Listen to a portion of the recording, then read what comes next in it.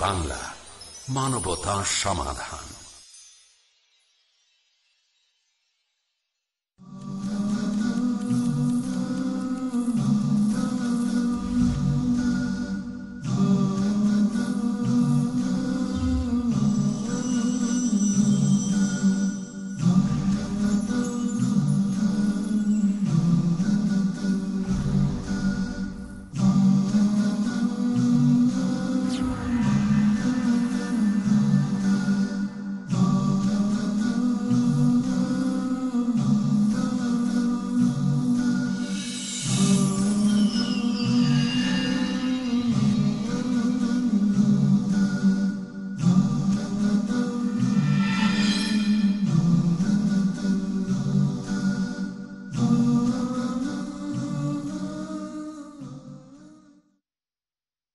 إن الحمد لله نستعينه ونستغفره ونعوذ بالله من شرور أنفسنا ومن سيئات أعمالنا من يهده الله فلا مذل له ومن يذلله فلا هادي له ونشهد أن لا إله إلا الله وحده لا شريك له ونشهد أن محمدا عبده ورسوله أما بعد সম্মানীয় শ্রোতৃমণ্ডলী এবং দর্শক মণ্ডলী আমি আপনাদের সকলকে আন্তরিক প্রীতি ও শুভেচ্ছা জানাই আসসালামু আলাইকুম ও রহমতুল্লাহ ধারাবাহিকভাবে আলোচনা করছিলাম আল্লাহর নৈকট্য লাভের উপায় এই বিষয়ের উপরে।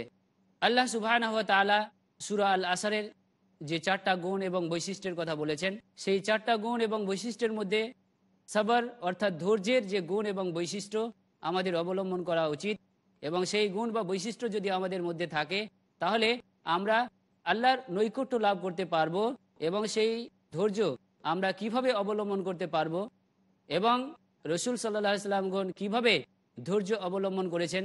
তার দৃষ্টান্ত বর্ণনা করা হয়েছে, সেখান থেকে আমাদের শিক্ষা গ্রহণ করতে হবে এবং নিজেদেরকে ধৈর্যশীল পরিচয় দিয়ে সেই আল্লাহ সুবহানাহ তালার নৈকট্য লাভের রাস্তা বা উপায় আমাদেরকে বের করে নিতে হবে। আল্লাহ সুবহানাহ তালা কোরআন মজিদের মধ্যে সুরা আহজাব তেত্রিশ নম্বর সুরার ৩৫ নম্বর আয়াতে একজন ব্যক্তির যে গুণ বা বৈশিষ্ট্য, সেখানে দশটি গুণ বা বৈশিষ্ট্যের কথা বলা হয়েছে। তার মধ্যে এই সবর বা ধৈর্যেরও কথা বলা হয়েছে।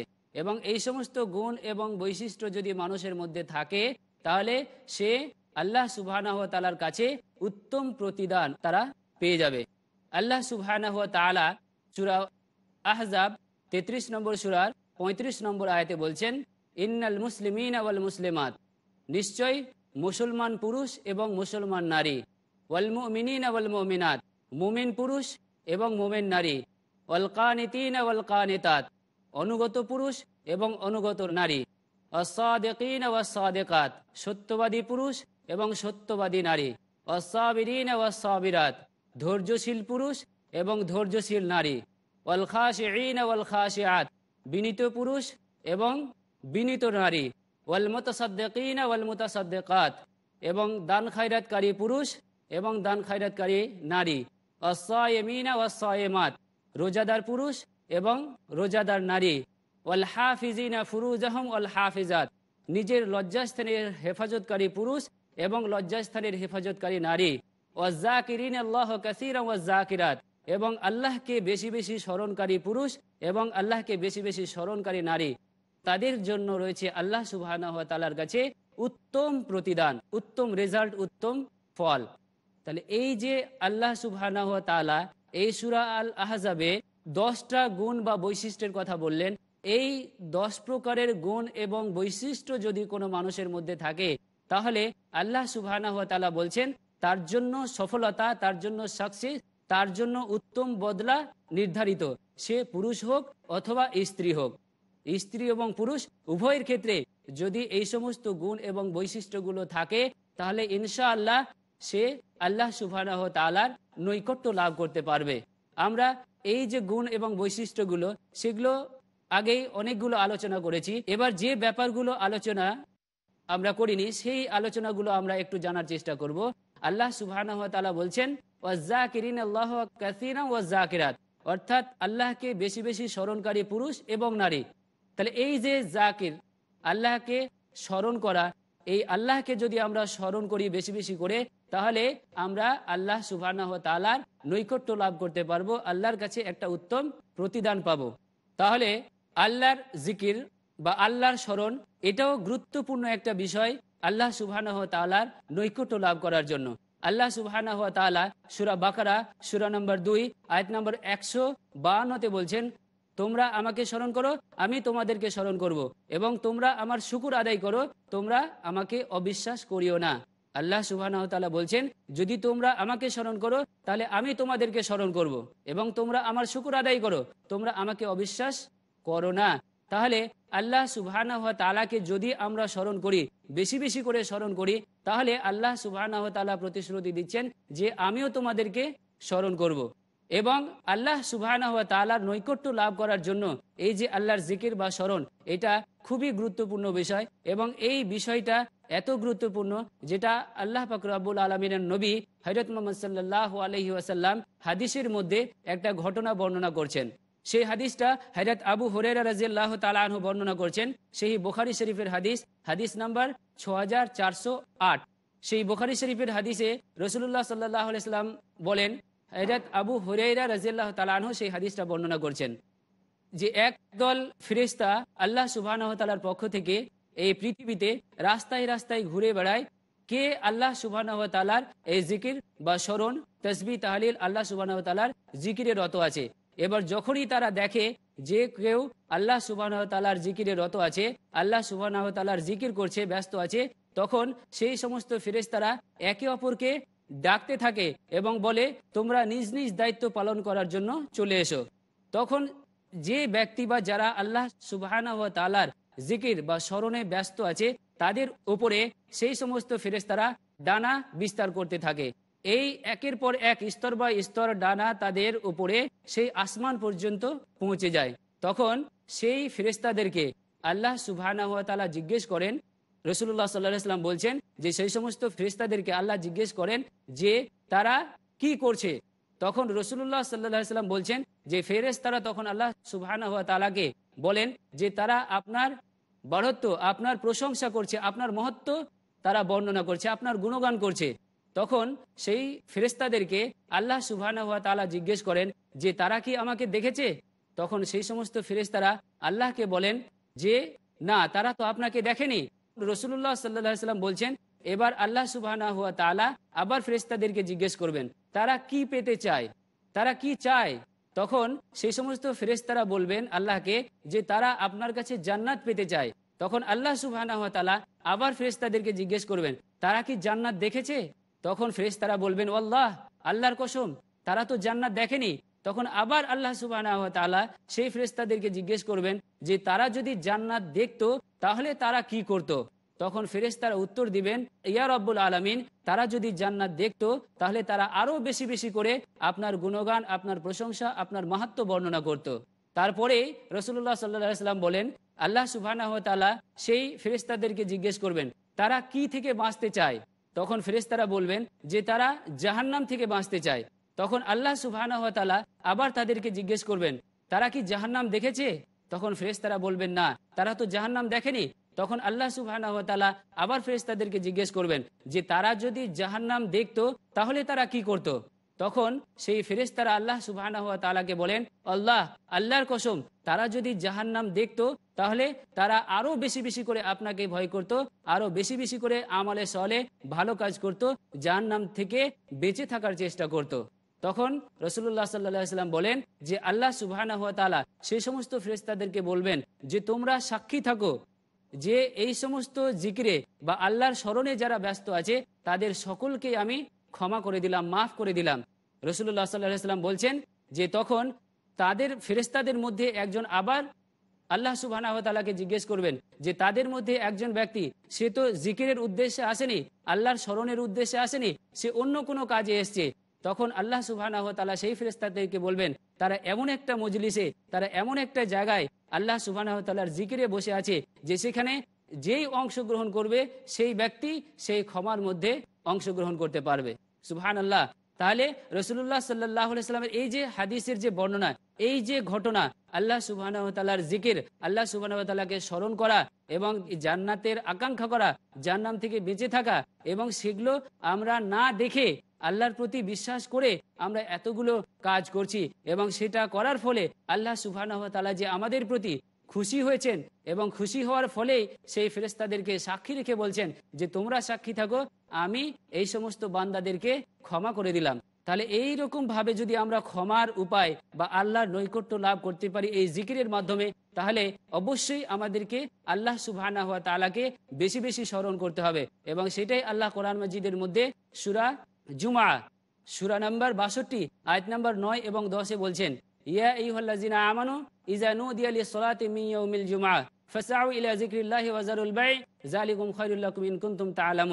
হে ইমানদার লোকেরা, যখন জুমার দিনে আজান দিয়ে দেওয়া হবে, তখন তোমরা সমস্ত কাজকর্ম ছেড়ে দিয়ে আল্লাহর জিকিরে, আল্লাহর স্মরণের দিকে জুমার নামাজের জন্য দৌড়ে এসো।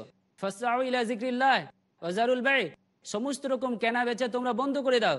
জালিকুম খায়রুল লাকুম তা'লামুন এর মধ্যেই তোমাদের কল্যাণ নিহিত আছে। এর মধ্যে একটা ভালাই বা সফলতা নিহিত আছে। তার পরবর্তী আয়তে দশ নম্বর আয়াতটাতে বলা হচ্ছে, ফাইজা কুজিয়াতি সলাত ফান্তাশিরু ওয়াবতাগু মিন ফাজলিল্লাহ। ওয়াজকুরুল্লাহ লাআল্লাকুম তুফলিহুন। এবার যখন নামাজ কমপ্লিট হয়ে যাবে, নামাজ পড়া হয়ে যাবে, তখন তোমরা আল্লাহ তাআলার রুজি রোজগারের জন্য জমিনের বুকে ছড়িয়ে পড়ো এবং এই রুজি রোজগার করতে গিয়ে আল্লাহ সুবাহানুয়াতালাকে বেশি বেশি করে স্মরণ করো। সুপ্রিয় দর্শক মন্ডলী এই বিষয় নিয়ে আমরা আবার হাজির হচ্ছি, তবে ছোট্ট একটা বিরতি নিচ্ছি। আসসালামু আলাইকুম রহমতুল্লাহ।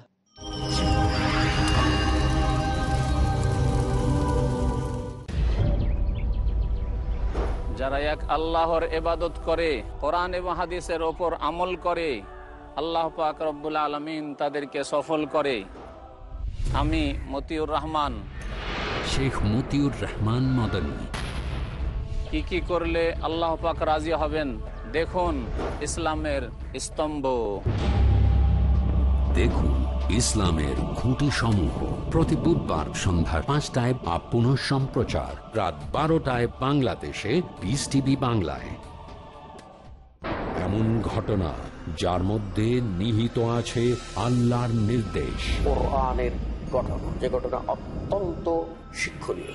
ইমানকে শুদ্ধ করার জন্য তৌহিদকে প্রতিষ্ঠা করার জন্য শিরককে উচ্ছেদ করার জন্য। দাউদ আলাহিসাল্লামকে রাজত্ব দিলেন জ্ঞান দিলেন তাকে মনোনীত করলেন। তোমরা ইমান আনো যেমন তারাই মেনে নিয়েছিল। কোরআন সন্না যখন যেটা বলল সেটা মেনে নেওয়া। আল্লাহর উদ্দেশ্য আল্লাহর হুকুম মানো হুকুম মানো হাসান জামিল মুখলিসুর রহমান মাদানী আহমদুল্লাহ বিন মোহাম্মদ লাবর হুসেন মুফতি কাজী মোহাম্মদ ইব্রাহিম হারুন হুসেনের উপস্থাপনায় বনি ইসরাইল তারা আল্লাহকে সচক্ষে দেখতে চেয়েছে। আল্লাহর ব্যাপারে তাদের আইডিয়াটা ঠিক ছিল আল্লাহর ফয়সালাকে নিতে হবে। এটাই হচ্ছে মুমিনের মুমিনের কীভাবে মমিন আল্লাহর দয়া অর্জন করেন বোঝার জন্য দেখুন গুরুত্বপূর্ণ অনুষ্ঠান কোরআনের কাহিনী। প্রতি বুধবার রাত আটটায় বা পুনঃ সম্প্রচার। সকাল সাড়ে ছটায় বাংলাদেশে পিস টিভি বাংলায়।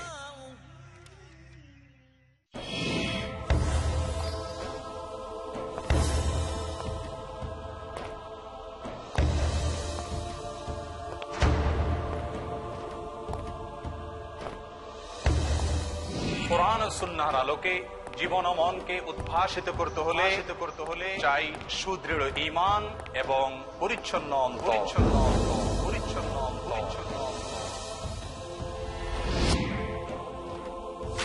কীভাবে অর্জিত হবে ইমানের দৃঢ়তা এবং অন্তরের পরিচ্ছন্নতা? সে বিষয়ে বিস্তারিত জানতে হলে আলোচনা শুনুন আমাদের ধারাবাহিক প্রোগ্রামে। সরল পথে চোখ রাখুন কেবলমাত্র পিস টিভি বাংলায়।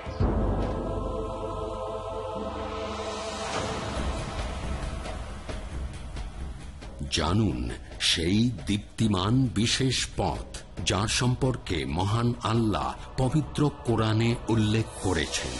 সরল পথ। প্রতি সোমবার রাত সাড়ে আটটায় বা পুনঃ সম্প্রচার সকাল সাতটায় বাংলাদেশে পিস টিভি বাংলায়।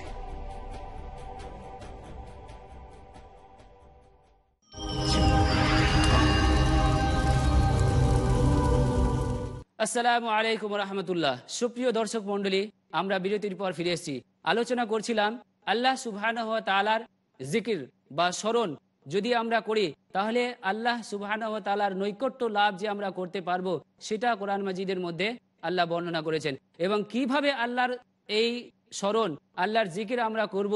আমরা দুনিয়াবি যখন কোনো কাজকর্ম করব। যখনই নামাজের জন্য আজান দিয়ে দেওয়া হবে স্পেশালি এই শুক্রবারের নামাজের কথা বলা হচ্ছে সুরা জুমায়, যে যখনই আজান দিয়ে দেওয়া হবে তখন তোমরা সেই আল্লাহর জিকিরে, আল্লাহর স্মরণের জন্য সমস্ত রকমের ব্যবসা, বাণিজ্য ত্যাগ করে দিয়ে, কেনা বেচা ত্যাগ করে দিয়ে তোমরা নামাজের জন্য ছুটে এসো এবং যখন নামাজ কমপ্লিট হয়ে যাবে, ফাইজা কুজিয়াতি সলাত ফিল্লার্স তখন তোমরা জমিনের বুকে ছড়িয়ে পড়ো মিন ফজলিল্লাহ, এবং আল্লাহর ফজল, আল্লাহর রুজি তোমরা তালাশ করতে থাকো, এবং তোমরা আল্লাহকে বেশি বেশি করে স্মরণ করো, তার ফলে তোমরা ফলাহ, অর্থাৎ সফলতা অর্জন করতে পারবে। সুপ্রিয় দর্শক মণ্ডলী, তাহলে আমরা নিজেরাই যদি ভাবি যে কতটুকু আল্লাহ সুবাহ তালার স্মরণ, বা আমরা যে ব্যবসা, বাণিজ্য যা কিছু করি না কেন, আল্লাহ সুবাহ বলছেন যে তোমরা এই ব্যবসা বাণিজ্য করতে গিয়ে আল্লাহ রুজি তলাশ করতে গিয়ে বেশি বেশি করে আল্লাহর স্মরণ করবে। যখন নামাজের টাইম হয়ে যাবে, আবার সেই নামাজের মধ্যে চলে আসবে। তারপরে আমাদের যে কাজ, দুনিয়াবি যে কাজগুলো আছে, সেগুলো আমরা করব অবশ্যই আমাদের করতে হবে। কিন্তু পাশাপাশি আমাদের আল্লাহ সুবাহ তালার এই যে জিকির, এই যে স্মরণ এবং স্পেশালি এই যে শুক্রবারের কথা বলা হয়েছে, আমরা বর্তমানেও অনেক এরকম প্রতিষ্ঠান আমরা দেখি। এই শুক্রবারের দিনেও জুমার নামাজের আজান হয়ে যায়, স্কুল, কলেজে এই যে টিফিনের ব্যাপারগুলো থাকে, সুপ্রিয় দর্শক মন্ডলী যারা আমাদের এই প্রোগ্রাম দেখছেন, তাদেরকে আমরা রিকোয়েস্ট করব এই বিশেষ করে শুক্রবারের দিনে এই নামাজের জন্য স্পেশাল ভাবে যেন আমরা দুটো, তিনটে পিরিয়ড অফ করে এই আল্লাহ সুবাহ তালার ডাকে আমরা সাড়া দিয়ে আল্লাহ সুবাহ তালাকে বেশি বেশি স্মরণ করি। তবেই আমরা আল্লাহর নৈকট্য লাভ এই দুনিয়াতেও আমরা করতে পারব এবং আখেরাতেও ইনশাল্লাহ আমরা আল্লাহর নৈকট্য লাভ করতে পারব। এবার আমাদের এই আল্লাহর নৈকট্য লাভ করতে হলে আল্লাহর স্মরণ বা জিকির করতে হবে। এবার আল্লাহর জিকিরের আমাদের বাধা সৃষ্টি করে বা আমরা আল্লাহর জিকির থেকে বঞ্চিত হয়ে থাকি, এইরকম কিছু জিনিস আছে যেটা আল্লাহ সুবাহ তালা কোরআন মাজিদের মধ্যে বর্ণনা করেছেন যে আমরা নিজেদের ছেলে মেয়ে, নিজেদের সন্তান সন্ততি মধ্যে ব্যস্ত থেকে আমরা আল্লাহর স্মরণ থেকে ভুলে থাকি। আল্লাহ সুবাহ কোরআন মাজিদের মধ্যে সুরা মুনাফিকুন তেষট্টি নম্বর সুরার ন নম্বর আয়াতে বলছেন আন হে ইমানদার লোকেরা, আমরা দেখছি যে যেখানেই জিকির, এই সমস্ত বা আল্লাহ নৈকট্য লাভের উপায়ের জন্য যে গুণ বা বৈশিষ্ট্যগুলোর কথা বলা হচ্ছে, বেশিরভাগ ক্ষেত্রে ইয়া এই হল্লাজিনা আমনও বলে সম্বোধন করা হচ্ছে। অর্থাৎ ইমানদেরকে আল্লাহ সবচেয়ে বেশি পছন্দ করেন, ভালোবাসেন এবং তারাই যাতে আল্লাহ সুবাহ তালার নৈকট্য লাভ করতে পারে এই কারণে বারবার আল্লাহ সুবাহ সেই ইমানদারদেরকে লক্ষ্য করে এই শিক্ষাগুলো দিতে চাইছেন যে ইহল্লাজিনা আমানু লা আউলাদুকুম আন তোমাদের তোমাদের সন্তান সন্ততি যাতে তোমাদেরকে গাফেল করে না দেয় আল্লাহ সুবাহ তালার জিকির থেকে, আল্লাহ সুবাহ তালার স্মরণ থেকে। সুপ্রিয় দর্শক মন্ডলী আমরা যদি এই আয়াতগুলোকে একটু চিন্তা ভাবনা করি, আমরা যদি রাত্রে শোয়ার সময় একটু ভাবি, চিন্তা ভাবনা করি যে আমরা এই চব্বিশ ঘণ্টার মধ্যে কতটুকু সময় আমরা আল্লাহকে স্মরণ করি বা আল্লাহকে সবসময় আমরা চিন্তা ভাবনার মধ্যে নিয়ে আসি। আমাদের ব্যবসা, বাণিজ্যে, স্কুল, কলেজে, অফিস, আদালতে যে কোনো কাজ করি না কেন, আল্লাহ বলছেন, সেই সমস্ত কাজের মধ্যে তোমরা আল্লাহকে বেশি বেশি করে স্মরণ করো। কিন্তু আমরা সব সময় আমাদের ছেলে, মেয়ে, আমাদের পিতা মাতা ভাই, বোন, আমাদের ব্যবসা, বাণিজ্যকে নিয়ে এত ব্যস্ত আমরা হয়ে যাই যে আল্লাহর জিকের বা আল্লাহর স্মরণ থেকে আমরা অনেক সময় দূরে সরে যায়, অনেক সময় গাফেল হয়ে থেকে যায়। সুপ্রিয় দর্শক মন্ডলী তাহলে আমাদেরকে অবশ্যই আল্লাহ সুবাহ তালার নৈকট্য লাভ যদি আমরা করতে চাই, তাহলে আল্লাহর এই জিকির, আল্লাহর স্মরণ অবশ্যই আমাদের করতে হবে এবং এই যে গুণ এবং বৈশিষ্ট্য যদি আমরা আমাদের মনের মধ্যে আমরা করতে পারি, তাহলে ইনশাআল্লাহ আমরা সেই আল্লাহ সুবাহ তালার নৈকট্য লাভ করতে পারব। সেই সুরা আহজাবের তেত্রিশ নম্বর সুরার পঁয়ত্রিশ নম্বর আয়তে আরেকটা গুণ বা বৈশিষ্ট্যের কথা বলা হয়েছিল অল হাফিজিনা ফুরুজ আল হাফিজাত অর্থাৎ যারা নিজের লজ্জাস্থানের, নিজের যৌনাঙ্গের হেফাজত করে, অর্থাৎ অশ্লীল, বেহায়াপূর্ণ কাজ থেকে যারা নিজেদেরকে রক্ষা করে, তারাও আল্লাহ সুবাহ তালার কাছে উত্তম বদলা বা উত্তম প্রতিদান পাবে। সুপ্রিয় দর্শক মন্ডলী আল্লাহ কোরআন মাজিদের মধ্যে সুরা বান ইসরাইল সুরা নম্বর সতেরো, আয়াত নম্বর বত্রিশে বলছেন তোমরা জেনা ব্যবিচার ধর্ষণ এগুলোর কাছেই যাবে না। কারণ এটা হচ্ছে জঘন্যতম কাজ, এটা হচ্ছে একটা বেহায়াপূর্ণ কাজ। সুপ্রিয় দর্শক মন্ডলী আমরা নিজে, নিজেদের ছেলে মেয়েদের ব্যাপারেও এই সমস্ত বিষয়গুলো সচেতন থাকব যে আমার ছেলে বা মেয়ে, সে স্কুল, কলেজে যাচ্ছে, কীভাবে যাচ্ছে, কার সাথে তার কোনো সম্পর্ক বা অশ্লীলতা বা বেহায়াপূর্ণ, এই সমস্ত কাজগুলো তার মধ্যে আছে কিনা।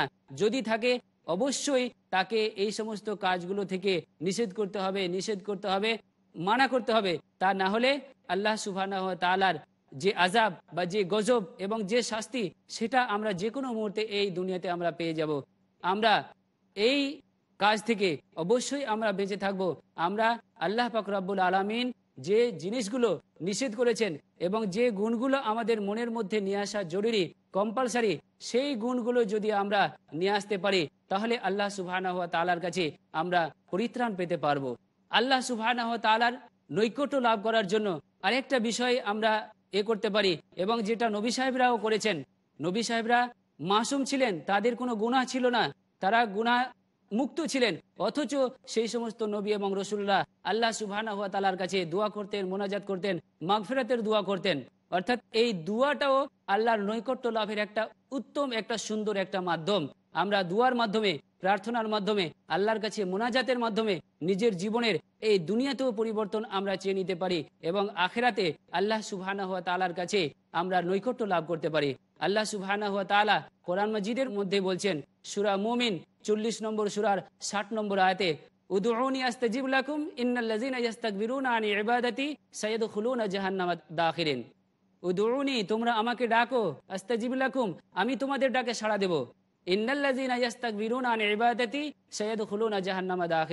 যারা আমার ইবাদত বান্দিগিতে নিজেকে আত্ম অহংকার করে, ফখর করে, আমার দিকে ফিরে আসে না, তারা জাহান্নামে প্রবেশ করবে সায়দ খুলুনা জাহান্নামা দাখিরিন, তারা সোজা জাহান্নামে প্রবেশ করবে।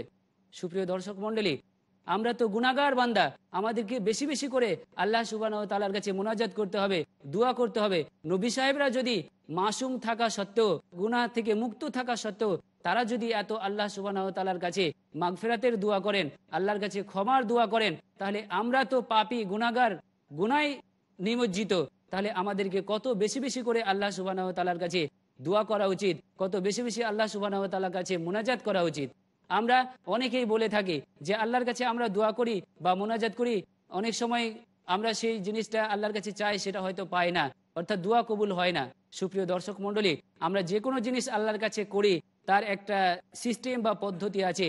আমরা যে আল্লাহর কাছে চাই, তারও একটা সিস্টেম বা পদ্ধতি আছে। সেটা রসুল্লাহ সাল্লাহ আলহি ওয়াসাল্লাম হাদিসের মধ্যে বর্ণনা করছেন যে, আমরা যখন আল্লাহর কাছে দোয়া করব, আল্লাহর কাছে কোনো কিছু চাইব, তখন প্রথমে আল্লাহ সুবাহ তালার প্রশংসা বর্ণনা করব। সেটা আলহামদুলিল্লাহ রবিল আলমিন, অর্থাৎ সুরা ফাতেহাও বলা যেতে পারে। এই ফাতেহা সুরা দিয়েই সবচাইতে উত্তম, কারণ ফাতিহা এমন একটা সুরা, এই সুরার মধ্যে আল্লাহর মোনাজাত থেকে শুরু করে আল্লাহর প্রশংসা, সমস্ত কিছু। তাহলে এই ফাতেহা সুরা বলে আমরা আল্লাহর কাছে মোনাজাত করতে শুরু করব। তারপরে হচ্ছে দরুদ শরীফ বলা, অর্থাৎ রসুল্লাহ সাল্লাহ আলহিসাল্লামের উপরে দরুদ পাঠ করা। তারপরে এবার আমরা যে কোনো বিষয় নিয়ে আল্লাহ সুবাহ তালার কাছে চাইতে পারি।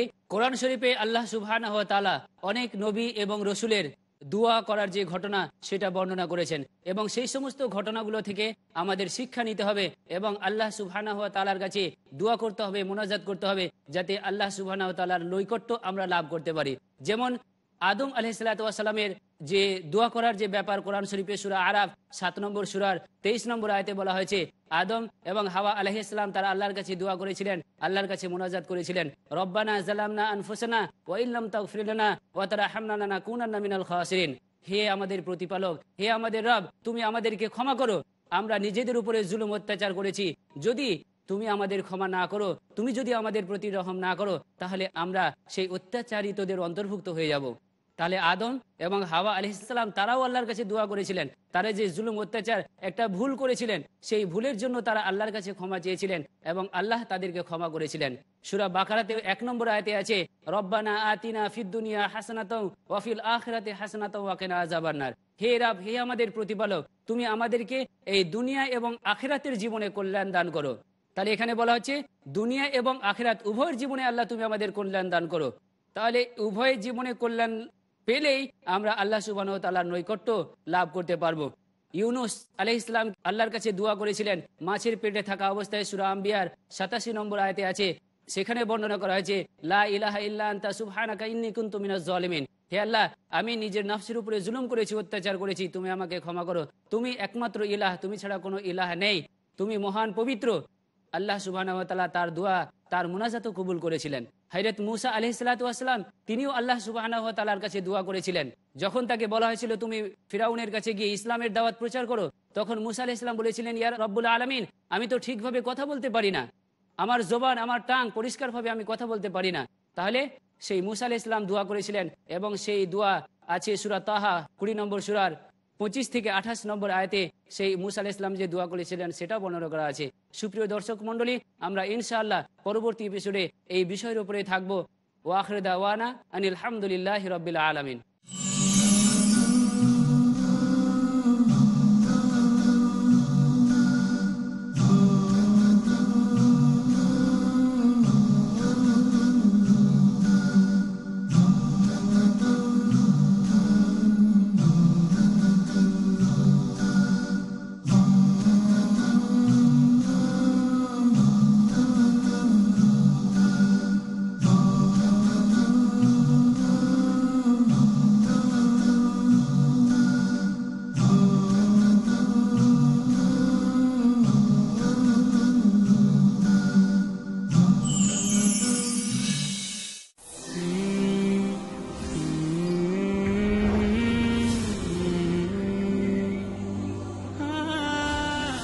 ইসলামী শরিয়ার রয়েছে সুনির্দিষ্ট সুমহান লক্ষ্য উদ্দেশ্য ও নীতিমালা।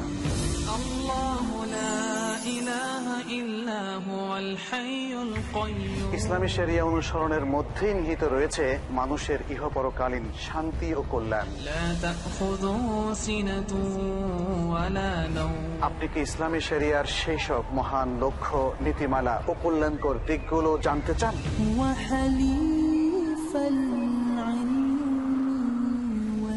তাহলে দেখুন ইসলামী শরিয়ার লক্ষ্য উদ্দেশ্য ও নীতিমালা সংক্রান্ত আমার আলোচনা পিস টিভি বাংলার পর্দায় عرفت الله ربي أشرق النور بقلبي ملأ البشر জানুন সেই আদর্শ নীতিমালা যা মানবতার সব সমস্যার সমাধান করে দিল ইসলামী সারিয়ার নীতিমালা প্রতি সোমবার মঙ্গলবার রাত সাড়ে নটায় আপ পুনঃ সম্প্রচার সকাল আটটায় বাংলাদেশে। পিস টিভি বাংলায়। ডক্টর জাকিরের আন্তরিক বার্তা। শত্রুকে জয় করুন।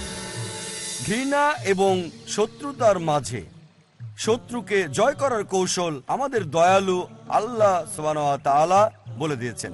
পবিত্র কোরআনে সুরা ফুসিলাত সুরা নম্বর একচল্লিশ, আয়াত নম্বর চৌত্রিশ। হে নবী, ভালো আর মন্দ কখনো এক হতে পারে না। তুমি ভালো দিয়ে মন্দকে প্রতিহত করো। তাহলে তুমি দেখবে যে যারা তোমার বিরোধিতা করে, তারা তোমার পরম বন্ধু হয়ে গেছে। শত্রুকে পরাজিত না করে বরং জয় করুন তাদের হৃদয় এবং মনকে জয় করুন। বাংলা মানবতার সমাধান।